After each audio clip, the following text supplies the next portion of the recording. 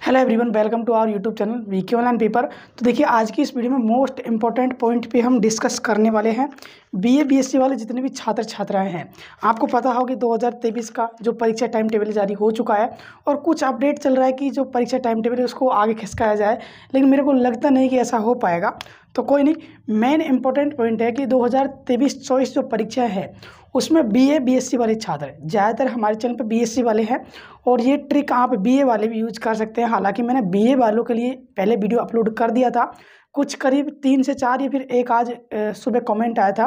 पता नहीं किस गर्ल है, पता नहीं कौन सी है, नाम याद नहीं है। उसका आया था और हो सकता है तो मैं यहाँ पे लगा दूँगा, नाम देख लेना। जिससे पता हो जाएगा कि जो आप कमेंट करते हैं, उसके ऊपर मैं वीडियो बनाता हूँ।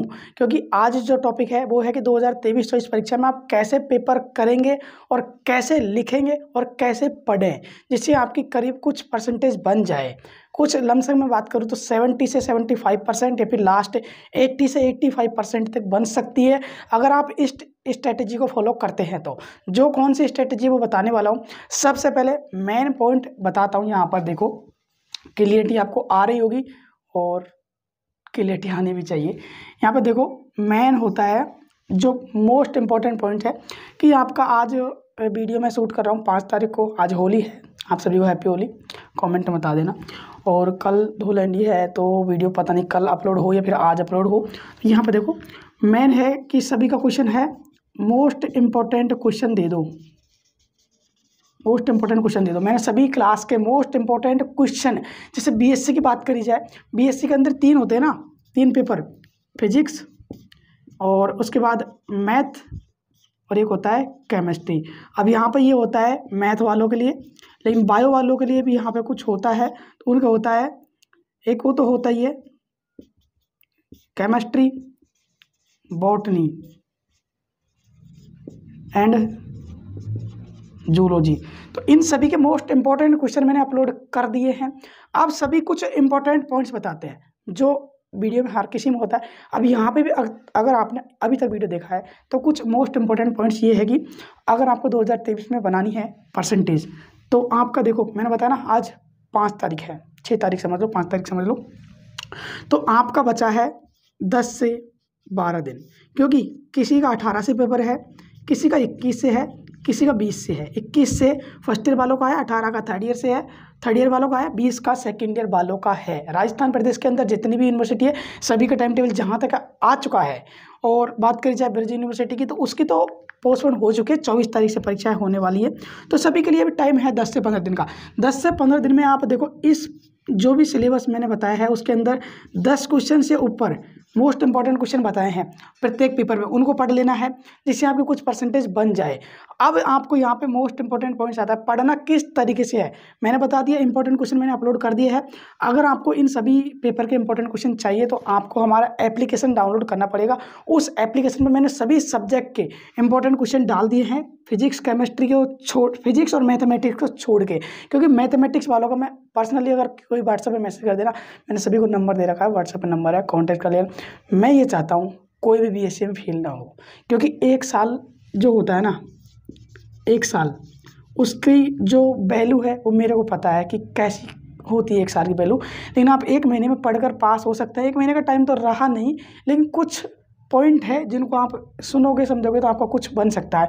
तो यहाँ पर देखो, जितने भी इंपॉर्टेंट क्वेश्चन है, वो आपको मैंने यहाँ पे बता दिए एप्लीकेशन के अंदर। अगर किसी की कुछ कंडीशन है फैमिली कंडीशन है, कोई रिक्वायर्ड है कोर्स ज्वाइन नहीं कर पा रहा कोर्स की प्राइस तो आपको पता होगा, दो सौ निन्यानवे चल रहा है।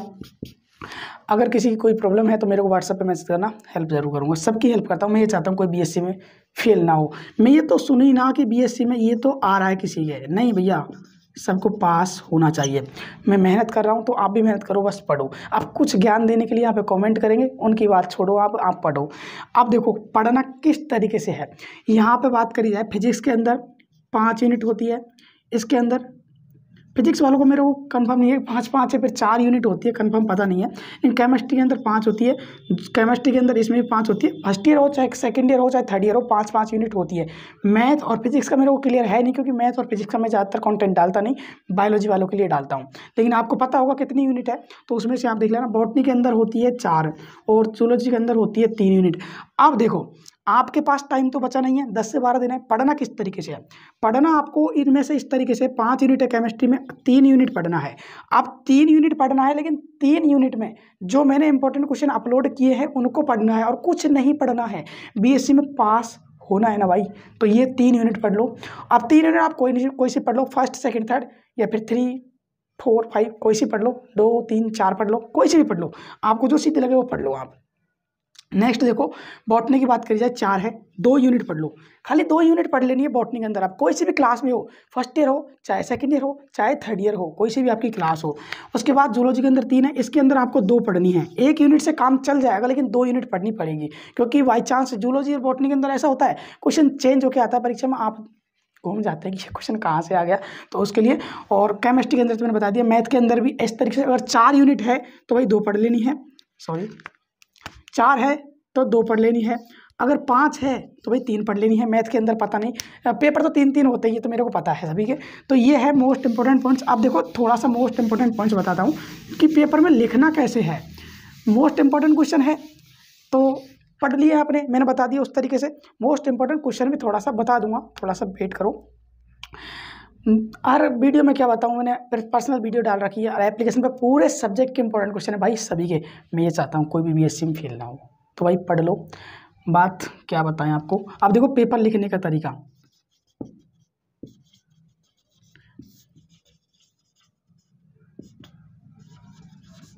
अब देखो यहाँ पे फ़र्स्ट नंबर पे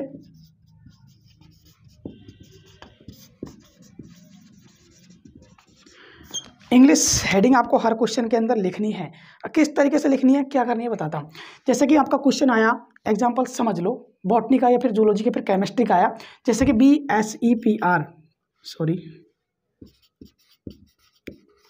ये थ्योरी आ गया।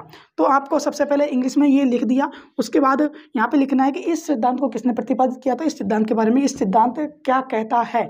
लिख दिया, लेकिन यहाँ पे जो B S C P R सिद्धांत लिखो तो क्वेश्चन में आएगा बी एस सी पी सिद्धांत क्या है और उसके नीचे आपको याद रखना है कि हर पेपर, जितने भी सब्जेक्ट होते हैं जूलॉजी बोटनी केमिस्ट्री हर पेपर इंग्लिश में और हिंदी में आता है। तो आपको करना क्या है कि जैसे ही आपने पेपर में ये हेडिंग जमाई तो आपको यहाँ पे जो क्वेश्चन आया है, उसको ऐसे कैसे लिखना है? क्वेश्चन को ऐसे कैसे लिखना है? मतलब कि टॉपिक उसमें से ऐसे कैसे जमाना है?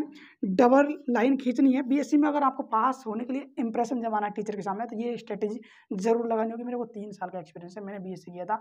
स्ट्रेटेजी फॉलो की थी। और नंबर अच्छे आते थे। नंबर तीस प्लस आते थे मेरे। तीस प्लस नंबर तैतीस तैतीस तैतीस, चौंतीस का पेपर होता है। तीस प्लस नंबर आते थे। केमिस्ट्री में थोड़ी कम आते थे और में तो सब तीस प्लस ही आते थे। केमिस्ट्री में क्योंकि केमिस्ट्री वीक थी तो उसका रीज़न अलग है। इस तरीके से मतलब कि फ़र्स्ट में सबसे पहले हेडिंग आपको इंग्लिश में जमानी है। हेडिंग जमानी है। हेडिंग का आपको कहाँ से याद नहीं करना भाई। पेपर में जो आया है उसको ही हेडिंग में जमा दो इंग्लिश में और हिंदी में। यहाँ पे ये लिख दिया। अब यहाँ पे जो भी है B S E P R अब ये तो हिंदी में क्या लिखोगे? यहाँ पे लिख देना सिद्धांत। ये हो गया। इसके नीचे कर दो कॉस्टक बंद कर दो। अब यहाँ से कि बी ऐसी फिर सिद्धांत ये फलाना ठिकाना हम करवाऊँगा दो से तीन लाइन में आंसर लिख दो।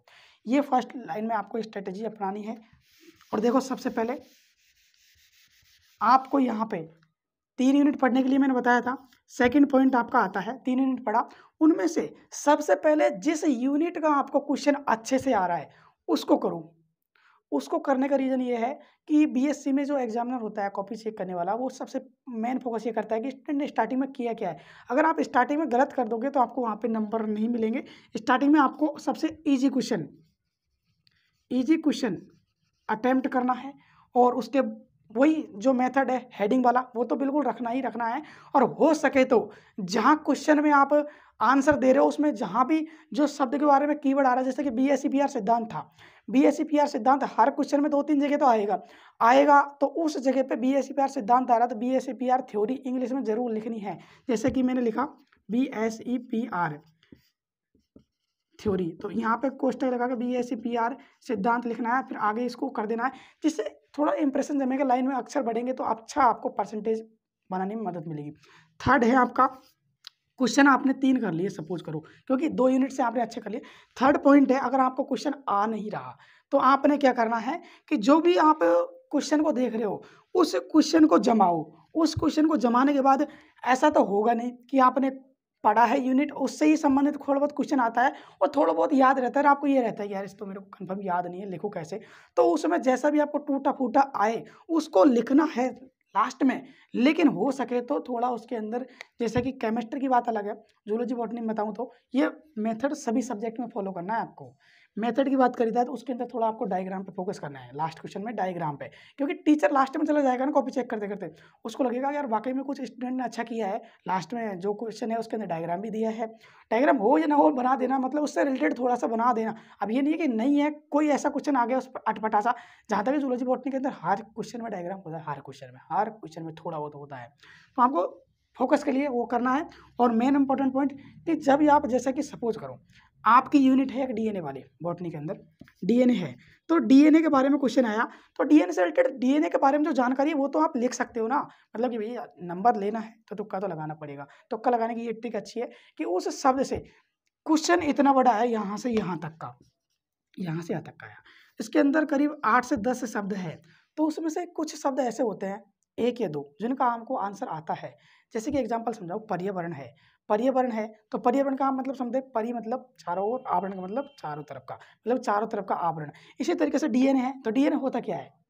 वही डीएनए बस। डीएनए के बारे में लिख देना है। आगे यहाँ पे राइबोसोम राइबोसोम के सेल्स आ गया सेल्स के बारे में जो भी क्वेश्चन आए, उसके बारे में थोड़ा सा जानकारी लिख देना है क्वेश्चन को झाड़ देना है बस। ये ट्रिक अपनानी है इंपॉर्टेंट क्वेश्चन एप्लीकेशन पे पूरे है और तरीके पढ़ने के मैंने आपको बता दिया, किस तरीके से यूनिट पढ़नी है, लिखने का तरीका बता दिया मोस्ट इंपॉर्टेंट क्वेश्चन पूरे ऐप में है, अगर कोई भी आपको प्रॉब्लम आए तो डिस्क्रिप्शन पर नंबर दे रखा है कॉन्टेक्ट लेना आपका भाई पूरी हेल्प करेगा। और जो मैंने कल किसी से बोला था कि भाई मत बोला करो, कोई नहीं, आप भाई बोल देना, आपकी मर्ज़ी है। मैं ये चाहता हूँ कोई बी एस में फेल ना हो। तो पढ़ो भाई अच्छे से और अपडेट आपको लाते रहेंगे और इस चैनल को सब्सक्राइब करके रख लो। बीएससी में अगर पास होना है और तो वही रखना ही पड़ेगा। तो कोई नहीं, आप वीडियो एंड करते हैं, फिर मिलते किसी नेक्स्ट वीडियो में।